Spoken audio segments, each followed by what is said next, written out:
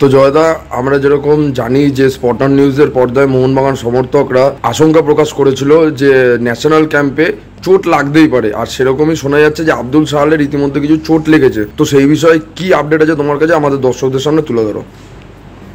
একদম। এটা ঘটনা। দিন পাঁচের আগে মোহনবাগান ফুটবলাররা যখন ক্যাম্পে যান, সেদিন সন্ধ্যেবেলায় মোহনবাগান তাঁবুতে ছিলাম। সমর্থকরা, তখনই খবর আসে যে আটজন খেলোয়াড় সুযোগ পেয়েছেন জাতীয় দলে। সদস্য সমর্থকরা কিন্তু আনন্দের পাশাপাশি একটা আশঙ্কা করেছিলেন। তারা বলেছিলেন, কেউ আবার চোট নিয়ে ফিরবে না তো। তাদের আশঙ্কায় ঠিক হলো।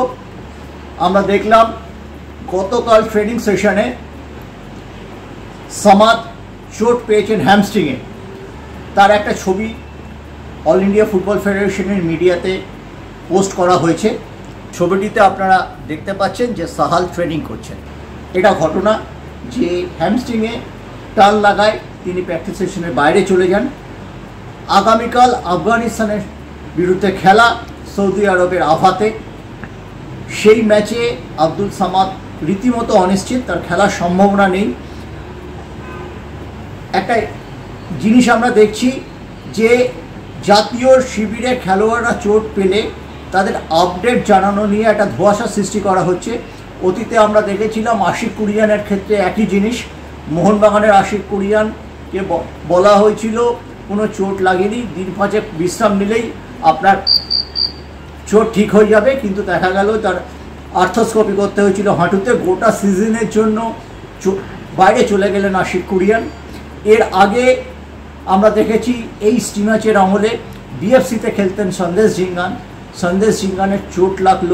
হাঁটুর চোট গুরুতর, প্রায় এক বছরের বেশি তাকে বাইরে থাকতে হয়েছিল, মাঠের বাইরে থাকতে হয়েছিল। তারপর তিনি ফিরেছিলেন, কিন্তু বেঙ্গালুরু আর রাখেনি। তাকে চলে যেতে হয় গোয়ায়।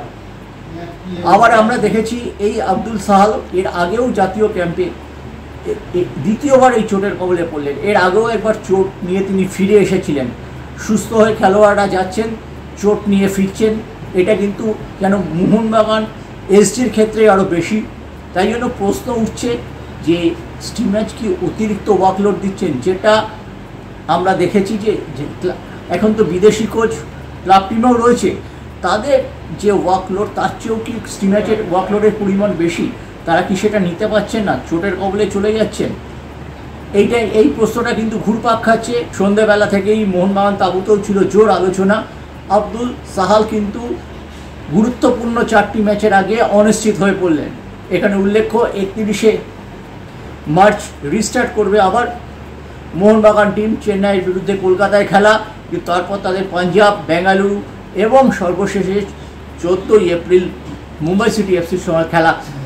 যাবতীয় ফুটবল বিশেষজ্ঞ বলছেন যে, মোহনবাগান এগিয়ে থাকলেও মুম্বাই সিটিতে খেতাব নির্ধারক ম্যাচ হবে লিগ শিল্ডের ক্ষেত্রে তার আগে আব্দুল সামাদ সুস্থ হয়ে উঠুন।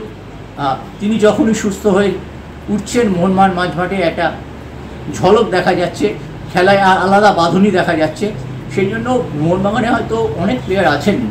জাতীয় খেলোয়াড় একদম বিশাল প্রাচুর্য। কোনো প্রতিভার অভাব নেই ইন্ডিয়ান ছেলেদের। কিন্তু তবুও সাহাল যেভাবে দলকে মধ্যে ফিট হয়ে গিয়েছিলেন তাই জন্য সমর্থকরা বেশ চিন্তায় রয়েছেন। দেখা যাক কী হয় শেষ পর্যন্ত। অনেক ধন্যবাদ জয়দা আমাদের দর্শকদের সামনে এই আপডেটটি তুলে ধরার জন্য।